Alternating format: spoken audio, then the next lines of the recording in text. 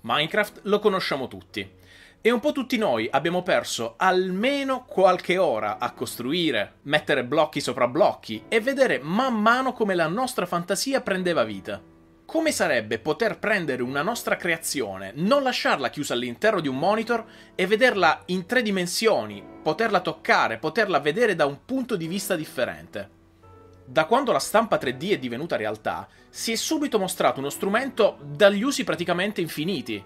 Ma la mia attenzione è caduta proprio su un plugin prodotto da alcuni ragazzi dell'MIT, che consente di selezionare porzioni delle nostre mappe di Minecraft per poterle poi stampare. Detto così può sembrare una cosa molto semplice, ma sono tanti passi da fare e soprattutto richiedono molto tempo. C'è da dire che il punto di partenza è proprio la fantasia anche se a dire il vero non ne abbiamo avuta tanta, o comunque avevamo paura di creare boiate. Quindi ci siamo affidati alla rete per cercare un buon modello in grado di rendere bene la tecnologia dietro questo progetto. Un bel castello non troppo grande sarebbe stato l'ideale. La sfida iniziale appunto è stata quella di cercare una mappa della misura giusta, perché troppo piccola sarebbe risultata effettivamente troppo misera, troppo grande invece avrebbe compromesso la qualità della stampa. Il secondo step è stato quello di selezionare un'area che poi saremmo andati ad estrapolare dal gioco rendendola un file compatibile con la stampante. Quindi mi sono portato i due estremi che avrebbero rappresentato i limiti dell'area per piazzare dei segnalini che verranno identificati dal programma di estrazione, dove in questo caso i blocchi di diamante rappresenteranno i vertici opposti dell'area selezionata. La fase successiva non è delle più semplici perché il tutto si compie non con un semplice programma ma con diversi programmi che non è che siano al massimo dello user friendly. Infatti dovremmo mettere in comunicazione tra loro diversi script di Python e soprattutto utilizzare DOS, quindi si fa tutto a riga di comando. E chi conosce il linguaggio di programmazione Python sa che a seconda di numerosi fattori cambiano le modalità di utilizzo e le componenti giuste da eseguire. Quindi, dopo tanti tentativi che mi hanno ricordato molto l'università, ho creato la condizione corretta per permettere a Python di elaborare l'area da me selezionata. In questo modo abbiamo ottenuto il modello che poi verrà stampato. A questo punto la palla passa a Maurizio, possessore della stampante che eseguirà il lavoro. Ma mi sono reso conto che anche lui ha avuto il suo bel da fare perché la stampa 3D non funziona in maniera diretta come siamo abituati dalla stampa 2D. Esistono dei limiti fisici che richiederanno lo studio di diversi fattori, come ad esempio la qualità di stampa in rapporto al tempo e la dimensione dei dettagli più piccoli, l'assenza di parti a sbalzo, cioè di balconate senza supporti, decidere lo spessore delle pareti esterne e la corretta percentuale di riempimento. Non dimentichiamoci che durante la stampa non sarà riprodotto solo un guscio, ma vista la natura del file prodotto in Minecraft, saranno stampati all'interno del castello anche le stanze, corridoi e tutti gli elementi architettonici presenti nella struttura originale, anche se alla fine non saranno visibili. Questo livello di dettaglio rende necessario un controllo preciso di ogni parte del castello. Quindi, dopo una prima verifica, è toccato riprendere in mano Minecraft e correggere qualche piccolo elemento per agevolare il percorso di stampa. Le bandierine sulle torri sono state semplificate, le luci sul ponte sono state rimodellate e soprattutto le stanze più grandi hanno avuto bisogno di qualche supporto extra per poter rendere solida e precisa la struttura. Per la prima volta mi sono emozionato al pensiero che sto modificando una struttura di Minecraft in maniera tale che possa resistere nella sua versione fisica. Grazie a questi accorgimenti e all'utilizzo di strutture di supporto rimovibili è stato possibile, dopo un paio di stampe di prova in scala, passare alla stampa del castello definitivo, di cui potete trovare un video timelapse dell'intero ciclo di stampa cliccando qui o andando in descrizione. Quindi, dopo aver verificato il modello, è il momento del software di slicing, il cui compito è quello di trasformare il modello 3D virtuale in precise coordinate geometriche per la stampante, in modo tale che la testina depositi la plastica nel posto giusto al momento giusto. Questo, nel nostro caso lunghissimo set di coordinate, viene trasferito su una scheda SD che inserita nella stampante eviterà di dover tenere acceso il PC per tutto il tempo della stampa, che nel nostro caso ammonta a ben 48 ore.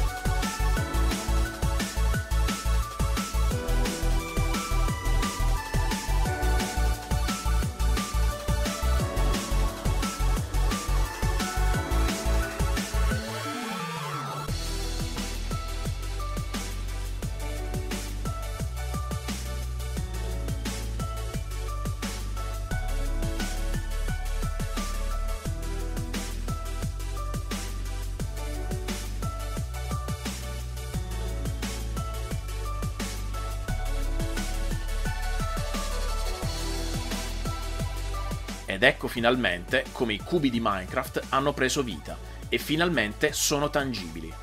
Solo che a questo punto si dovrà ripulire il modello da quei piccoli pelucchietti prodotti dalla fase di stampa.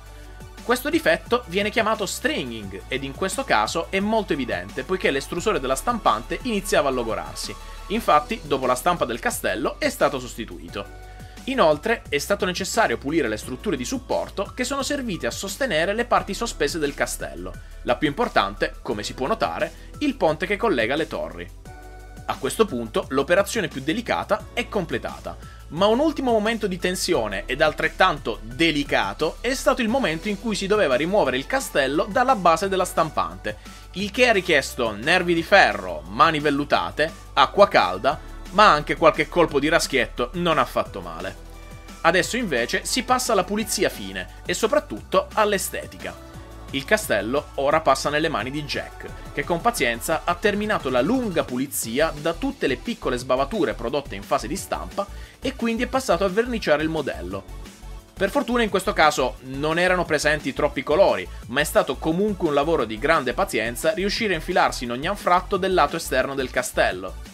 Sono passati diversi giorni tra colore, aerografo, pennello, dettagli e attese tra un'asciugatura e l'altra. Nel frattempo, io e Maurizio non siamo rimasti con le mani in mano. Ci siamo procurati una basetta di legno su misura, su cui poi verrà incollato il modello una volta terminato. Non saremo artisti come Jack, ma quantomeno siamo stati bene o male in grado di dare un po' di colore anche noi. Dopo un paio di giorni tra colori e componenti lasciati ad asciugare, arriviamo al capitolo finale, dove assembleremo tutto. Il castello è finalmente completo, pronto e bellissimo. Tutto quel che abbiamo fatto è stato applicare i soliti feltrini avanzati da Build Your Pad precedente sotto la base di legno e quindi prendere i riferimenti per applicare la colla che terrà ben saldo il castello alla sua sede. E per finire, come una ciliegina sulla torta, ogni opera che si rispetti ha bisogno dei giusti fregi che valorizzino questa piccola grande impresa. Ovviamente tutto frutto di un'altra stampa in 3D. Adesso abbiamo dunque centrato l'obiettivo primario dell'operazione, portare una creazione di Minecraft direttamente sulla nostra scrivania. Perché vedere la nostra creatura prendere vita e occupare dello spazio reale fa davvero molto effetto. I dettagli, le forme, quei tanti cubetti che abbiamo tutti maneggiato in un gioco, ora sono lì. E mi emoziona anche pensare che nonostante siano invisibili, all'interno del castello sono presenti le strutture interne complete, fatte di corridoi, stanze, scale, saloni, portici e anche finestre. È bello pensare che anche se non li vediamo, sono lì e sono perfettamente fedeli a come li abbiamo creati su Minecraft. Fa quasi rimpiangere il film Mamma mi si sono ristretti i ragazzi. Chi se lo ricorda? Fatemi sapere se questo progetto vi è piaciuto e cosa pensate del progresso costante della stampa 3D che in un certo qual modo sta rivoluzionando l'approccio verso la produzione di oggetti, piccoli in questo caso, ma anche più importanti e innovativi.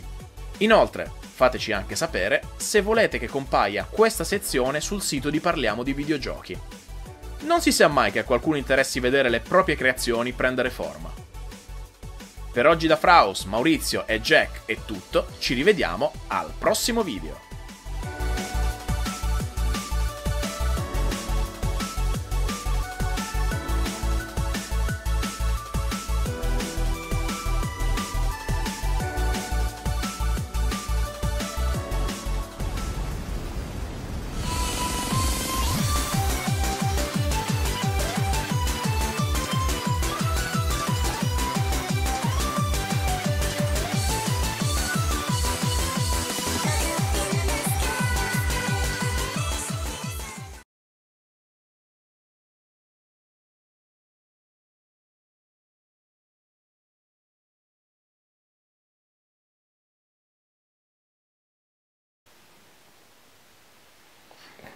Che la stortaggine sia con te.